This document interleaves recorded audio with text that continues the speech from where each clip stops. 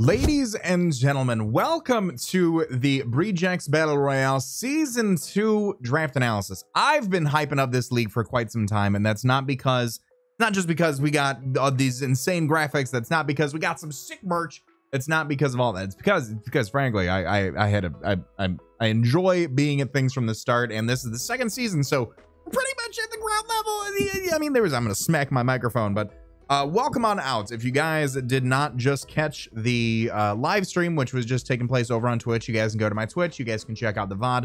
So you guys can see the full draft recap to see all of our 16 coaches, what they drafted, and kind of see how things played out. But if you guys are not familiar with this, in this type of video, what I will be doing is discussing the 10 Pokemon that I have selected for this season, where I will be taking the next 12 weeks here and battling a new coach each week in an attempt to become the champion of this season. Uh, for those of you guys who just missed the last season, we just did the NCP Nimbus season three. Uh, we did make it all the way to semifinals in that. Unfortunately, we Ash Ketchum'd out and we lost in the semifinals. So we are looking to come back and we are looking to smack some people around in this league. So if you guys enjoyed this type of content, make sure you guys subscribe so you do not miss out. These we these battles are going to be weekly.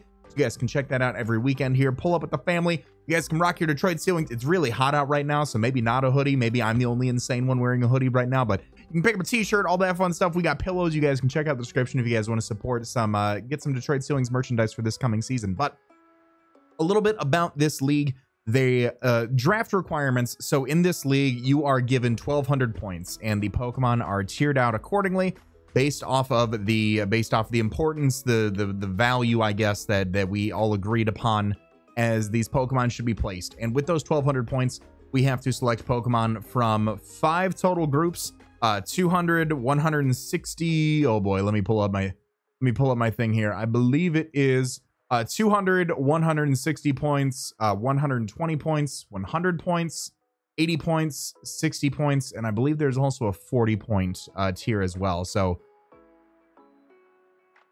I think there's eight tiers 1A, 1B, 2A, 2B, 3A, 3B, 4A, 4B. Eight tiers to choose from. Um, each Pokemon has their own value assigned. So we're going to kind of talk about that towards the front of the draft. You obviously want to grab the important stuff, the the, the heavy hitters, the, the, the Pokemon you would intend to bring week in and week out. And as you go along, you pick up a supporting Pokemon to accompany your goal. So my goal in this was to create the best team possible. And I had a I had a feeling going into this league this season. I'm going to turn on my fan now because I need to buy a Detroit Steel Wing shirt because my hoodie is a little warm and it's July. Um, the I had a feeling I, I wanted to go into this draft with two things in mind. I wanted to win, and I wanted to use two Pokemon that I had just previously used in NCP Season 3. So we're going to talk about that. But going into this league, I knew I wanted to draft the Alolan Ninetales again, and I wanted to try Diggersby again because I had so much fun with them both in NCP. I wanted to give them a shot. I figured with the new DLC coming out, having some new moves, some new supporting Pokemon could be really, really beneficial to the cause and really showcase off some of those Pokemon. So going into this draft, I was like, okay, I want Alola Ninetales, but uh, in my opinion, uh, Alola Ninetales is not a first round pick. So we wanted a Pokemon that kind of supports Alola Ninetales in some way or fashion. I wanted a Pokemon that's, uh, you know, I'm not drafting Beartic first overall. No, I'm not drafting a Alolan Sandslash first overall. But something that comes to mind is you want Pokemon with good synergy. And one of the things that occurred to me was that Alola Ninetales did not appreciate steel types. Uh, another thing that occurred to me is that Alola Ninetales is very four times weak to steel types, especially if they are fast steel types. Now, there's not the world's utmost variety of fast steel types, but there was a Pokemon that got introduced with the Isle of Armor DLC that does have priority steel typing that hits really, really hard. So I was like, why would I not want to grab that so that way my Alola Ninetales doesn't have to go up against it? So the first Pokemon, oh, there goes my face cam. Never mind. Oops, sorry, round's over. Um, the first Pokemon that we grabbed was actually Scizor. Scizor was a tier 1A, was the most, was in the highest valued points with 200 points. Scizor's a fantastic Pokemon. I've had the I've had the privilege of using Scizor before in um I believe God, what league was that? Was it was it P4G? I, I can't even remember when I used Scizor, but I have used Scizor before. Scizor's really, really nice. Um, it of course does have the four times weakness to fire, However, with the removal of hidden powers in the game, not every Pokemon is going to have access to fire coverage now to be able to bop Scizor in one shot. So that's really really nice um another thing that is around like i said it does have the uh, it does have the priority with bullet punch the technician ability boosting its moves that are 60 base power and below by an extra 50 percent so um, bullet punch becomes that much harder of a hitting move. Few other moves that it does get uh, are included within that little range of moves that get boosted by technician. It is a very reliable defogger in my opinion. It does get access to defog. It gets reliable recovery and roost. It gets access to knockoff, pivot, momentum, and U-turn. It's a really solid Pokemon. I know there's a lot of Pokemon that have been introduced in Generation 8 that kind of don't that, that, that really scissors I, I don't think Scizor is as prominent as it once was but i do think in draft format especially pairing it with alola ninetales um Scizor is probably the one pokemon that alola ninetales hates the most out of any pokemon that exists i i want to say it's Scizor or like metagross for that matter but metagross isn't here so we don't have to worry about metagross but um, Scizor for sure is one of those Pokemon that is going to bring pretty much Bullet Punch every week. So Alola Ninetales hates it. So I wanted to grab Scizor right out the gates. Um, that being said, uh, we were 12th in the 12th in the draft, so the first 11 Pokemon got drafted. We draft Scizor, goes back around, comes back, and again, I said I wanted to draft the Alolan Ninetales, so we drafted a Alolan Ninetales. Um, it's uh, it, I really I always used to poke fun at Dan because he would always draft Hail and draft Veil and things like that. And I was like, oh boy, Dan's drafting Veil again. Shock. Oh my God, I love it. I love it so much. I love it. So we we drafted a Alola Ninetales. Alola Ninetales is super fast. While it doesn't hit super hard from the special side, like it's got base 81 special attack. Like that's not something to go home to mom about, but it's really fast with 109 speed. It does get access to Aurora Veil, which is a, if you are not familiar, it is light screen and reflect in one. Um, so, and being able to set the hail as well for that is really, really nice. Setting the hail means we have 100% accurate blizzards as well. Um, Blizzard really just hits really hard. It's a, it's a really hard hitting move. It's boosted by uh, the same type attack bonus. It is stab. So we do get to toss off stab blizzards and moonblast. We get to set up Aurora Veil. There's a few niche moves here or there each week that can be used. I believe this thing also gets heal bell as well. It's a cleric. Um, so we can, if Scizors were to get burned, we can use Alola Ninetales to uh, toss up a uh, toss off a heal bell. We can also set up an Aurora Veil, so that way Scizor's fire four times weakness to fire is no longer really that prevalent. So um, right now on our team, we do have a very strong fire weakness, though. We're not going to patch that up just yet because I said there was one more Pokemon that I wanted to use, and that is Diggersby. Diggersby is so underrated in my opinion. Oh my god, it is it's incredible. It's incredible. It was 160 points, so this came in at the second highest tier. Um, same thing with the Alola Ninetales. Actually, they both were 160 points. So we have used almost half of our draft points within the first three picks. So we do need to keep that in mind. But Diggersby is great. Diggersby has priority. Diggersby has huge power, which doubles its attack stat. So it just hits like a truck. Um, Earthquake, one of the best moves in the game, just to keep spamming. Uh, so, so far we have Blizzard, hits like a truck. Earthquake, hits like a truck. Diggersby can set up with Swords Dance, with Bulk Up, with Agility. It can be Scarf, it can be Banded. We ran AV last season and did really well. It's a really fantastic Pokemon, in my opinion. Um, it does have access to spikes. It does not have access to rocks, so we do want to pick up a rocker at some point, uh, if, if, at all. But um, we do have the ability to set up spikes here with this thing. It is an electric immunity, so it does not uh, resist the fire typing that we're looking to have. So as of right now, we're, we're trying to find something. We also really don't like fighting types either. Fighting types, um, fighting types kind of do a little bit of damage to our team at this point. So we wanted something to kind of, and, and, and our speed is okay. We have a Alola Ninetales, which is really fast, but Scizor has a base 65 speed. Uh, Diggersby has base 78. So right now we're looking for something that can be a little bit faster, um, a little bit more pivotal, um, Diggersby, a lot of these Pokemon can play different roles, but something that provides a little bit more of a pivotal role could be very, very nice. So the next Pokemon we actually end up drafting, so we have a Steel type, we have a Fairy type. Next up here, we have our Dragon type. We drafted Noivern. Noivern came out of actually Tier 2B, which is the fourth highest tier at 120 points. Noivern is a Flying type and a Dragon type. Noivern has access to uh, Frisk. It has access to Infiltrator uh, and then Telepathy, but Telepathy is not that useful in singles. It does have access to defog, uh, which is uh, super, super cool as well.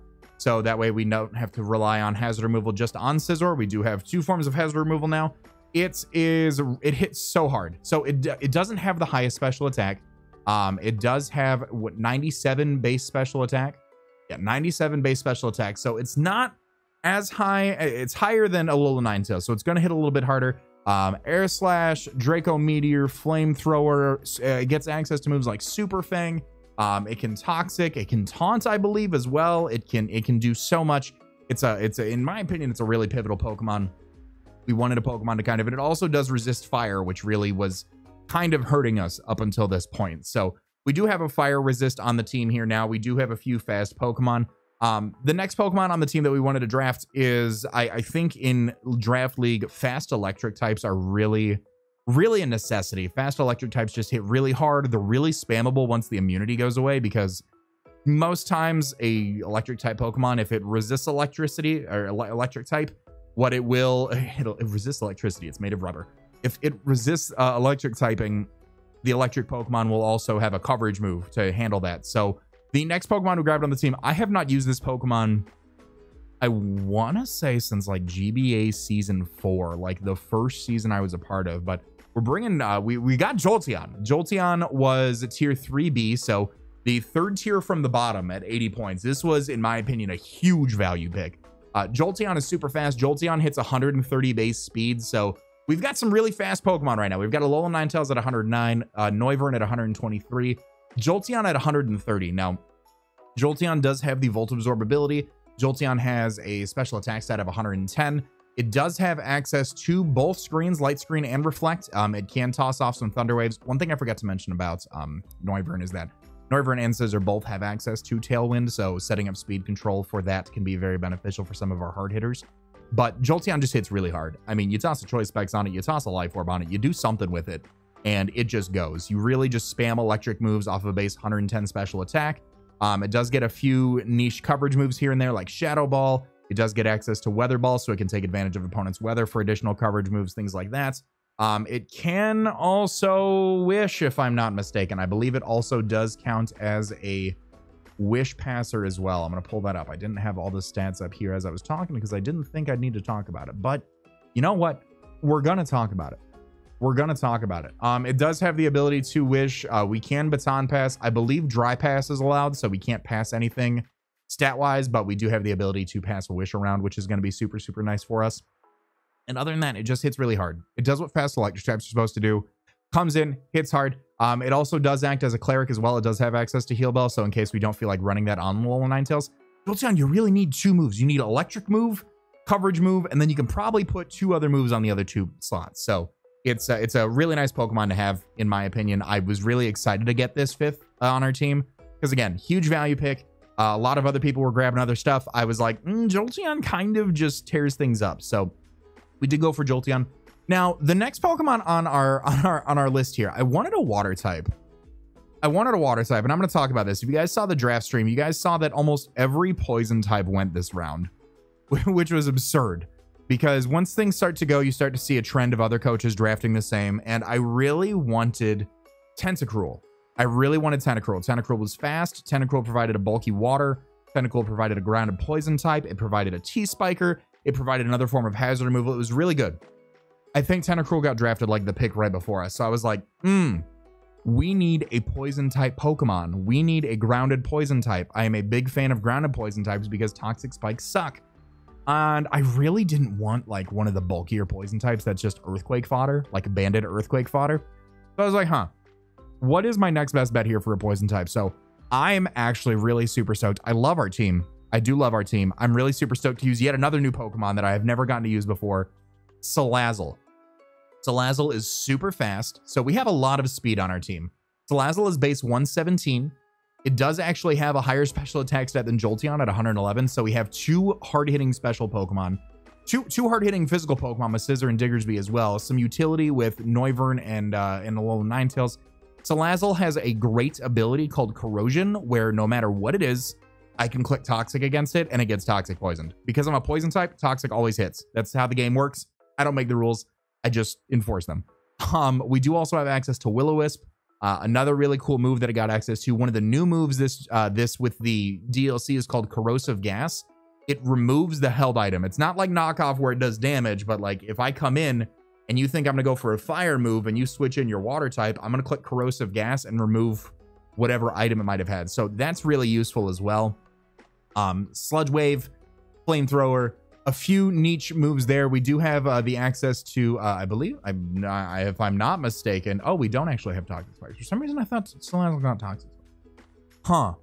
Hmm. For some reason, I thought Salazzle got toxic spikes. Well, that's my error. So we don't have a toxic spike, but we do have a ground and poison type to absorb toxic uh, spikes. And we do have a Pokemon that is really, really fast and threatens from a side that Jolteon can't really touch. Jolteon can electric move, it can shadow ball, it can weather ball, it can hyper voice. Uh, poison and fire moves, unless in the sun with weather ball, it really doesn't have. So Salazzle comes in, clicks sludge wave, clicks flamethrower, clicks coverage move, clicks coverage move. So other, I, I'm like I said, I'm really excited to use Salazzle, but at this point, we did we need some bulk. We need some bulk on the team.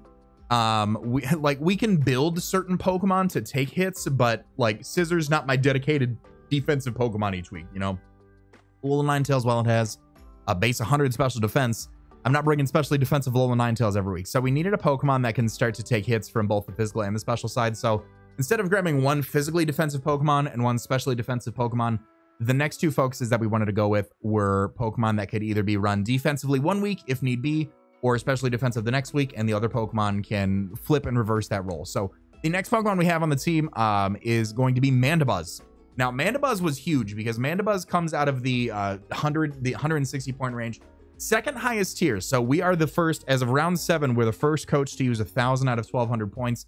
We have 200 points left to go over the last three picks here on the team.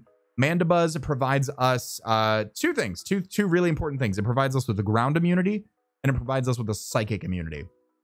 We already talked about how Earthquake is super spammable, and we also really needed a Pokemon that can take psychic hits because we've seen it before where we don't have an immunity to a certain type. That type just gets set up and goes to town. So being able to have Mandibuzz is really nice. Another good thing about Mandibuzz is that we do have Hail support, or we of course have Hail through Alolan Ninetales, uh, Mandibuzz does get access to the overcoat ability, which prevents damage from weather. So it does not, it does act as a defensive wall and it does not, does not get damaged by our weather, which is really, really crucial. Um, Mandibuzz is huge when it comes to bulk. 110 base HP, 105 defense, 95 special defense, and then 80 base speed. So like, it's not like it's that slow. It's not like it's that slow, which is crazy. It does act as another form of hazard removal. So now we have Defog on Scizor, Defog on Noivern, defog on Mandibuzz. We've got a lot of hazard support, which is really great. Um, or a lot of hazard removal, which is really great because Ninetales doesn't appreciate rocks, Noivern doesn't appreciate rocks, Lazo doesn't appreciate rocks, uh, Mandibuzz doesn't appreciate rocks.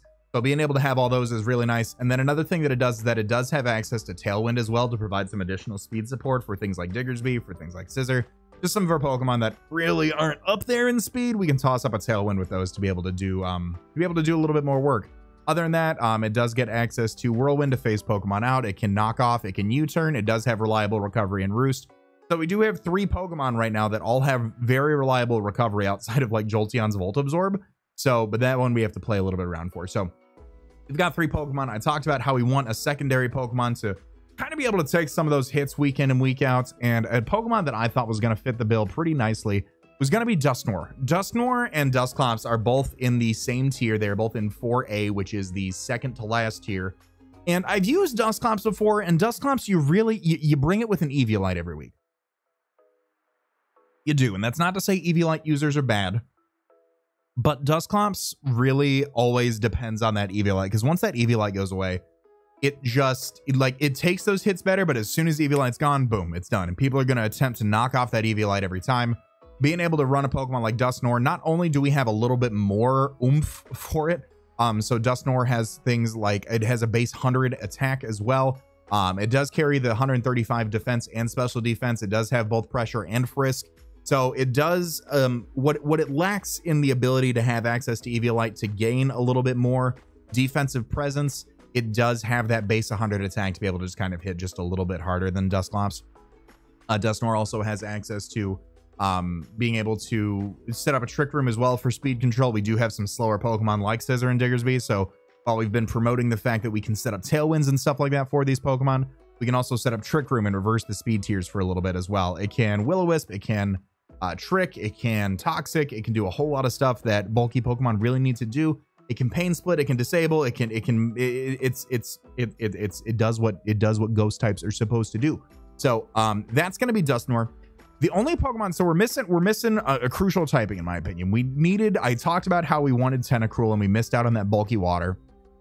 We, we, we're missing a bulky water. And this next Pokemon I was actually really psyched to draft because I've joked about it for years, whether it be in private or on streams or things like that. I have always wanted to draft this Pokemon. I have joked and joked and joked, and finally, this line of Pokemon got access to Shell Smash this generation, and I was like, you know what? That gives it just a little bit more viability. We drafted Eviolite Wartortle. We have uh, Wartortle here. Wartortle is pure water type. It does have the ability to rapid spin, so now we do have all of our bases covered with defog, defog, defog, rapid spin. Um, it does what bulky waters do, man. It takes hits that others cannot. It does get to abuse Eviolite, so while it has base 80 defense and special defense, boosting those with Eviolite is is tremendous to be able to help on and take those hits. Uh, we can rapid spin, we can scald, and like I said, we have Shell Smash. So if if Wartortle just looks really good when we we're bringing Shell Smash War Wartortle, man, we're gonna do it. So, um, but we did need a bulky water type to help out. There's not too much to say about War Wartortle, man. Um, the next pick that I got, this was predetermined long before we started the draft. I knew I wanted to get a Alolan Ninetales, and I knew with this next Pokemon, I wanted to use it. We tried Beartic out last season. I wanted the other Slush Rush Abuser. Ladies and gentlemen, to round out the season two of the Breedjects Battle Royale draft, we have Alolan Sandslash. Now, Alolan Sandslash acts as another spinner, which is good. Um, unfortunately, it does act as our only rocker. So while our options for setting hazards are limited, we do have the ability to remove hazards everywhere. everywhere. Half our team, I think. One, two, three, four, five. Five out of 10 of our Pokemon get hazard removal. So that's really nice. Um, Alolan Sandslash does get Slush Rush, which doubles its speed in the hail, which is set by Alolan Ninetales. Uh, Alolan Ninetales also does provide the Aurora Veil to help out with Sandslash's four times weakness to fighting and fire. Um, Alolan Sandslash also got access to spikes this generation, which is nice. Um, it got access to spikes. And there are two new moves that I got access to, Triple Axel and Steel Roller. Steel Roller is a very hard-hitting steel move, which is only available in terrain, and it removes the terrain in an effort to use a like 120 base power steel move. Triple Axel is an ice type move. It's essentially ice triple kick. It has a 90% chance to hit three times. So first, it it'll go to hit once. That's a 90% chance. It'll go to hit a second time. That's another 90% chance. And it'll go a third time for another 90% chance. If you hit all three, it is a 120 base power ice type move, which hits so hard considering Sandslash has 100 base attack on there. Being able to pair that with a life orb. Ice goes... Uh, the Pokemon that resists ice don't appreciate the other coverage moves that Sandslash can go for, really. So Sandslash just, it, I, I wanted to use it. I was like, I want to use Sandslash. I want to click Icicle Crash and Iron Head and Earthquake and don't give a damn about it. So that's going to be our team. Um, we have Scizor, we have Alolan Ninetales, Diggersby, Noivern, Jolteon, Salazzle, Mandibuzz, Dusknoir, Wartortle, and Alolan Sandslash. I am super excited to be participating this season. We are going up against 12 coaches in an attempt to win the championship. So if you guys, uh, if you guys are excited, if you guys enjoyed the draft, uh, let me know your guys' thoughts on our team in the comment section down below. Of course, if you guys have any questions, comments, thoughts, concerns about the team, the schedule, the draft, what Pokemon is at all, uh, feel free to leave those in the comment section as well. Next week, we are going up against, uh, I believe it's Auglebina and the Miami Ments. Uh, it is going to be a weather matchup, so stay tuned for that next Saturday. All that being said, I want to remind you guys to be great and do great, and I'll see you on the next video. Later.